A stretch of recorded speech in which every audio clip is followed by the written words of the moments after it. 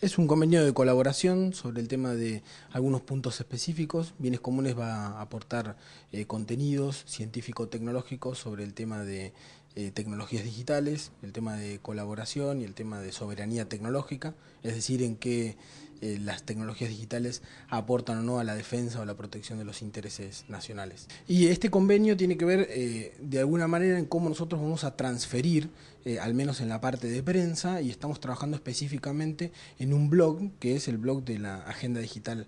Argentina, en donde particularmente estamos escribiendo columnas de opinión, pero también vamos a aportar otro tipo de desarrollos. Y específicamente estamos cubriendo lo que vendría a ser la agenda nacional, cuáles son los proyectos que con mayor o menor visibilidad este, está llevando Argentina, pero también nos interesa trabajar en términos de la integración que se está haciendo en términos de, de la UNASUR y ver eh, cómo nosotros podemos desde bienes comunes aportar una visión estratégica. Hay que pensar que todo el tema tecnológico tiene tres fases y ahora podemos inaugurar una cuarta. Primero la fase tecnológica en sí,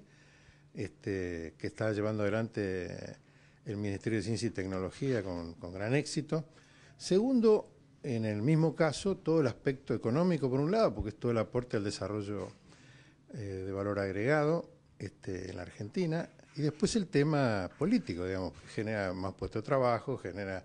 mayor conocimiento, mayor dominio de lo que se hace, lo que sucede, mayor conocimiento en general. Y después esta fase, digamos, casi social, de inclusión social, que es este, recoger todo lo que pasa en la sociedad y relacionarnos con todo lo que pasa en la sociedad y pensar la tecnología como un bien común que, que digamos, permite a más sectores relacionarse, crecer.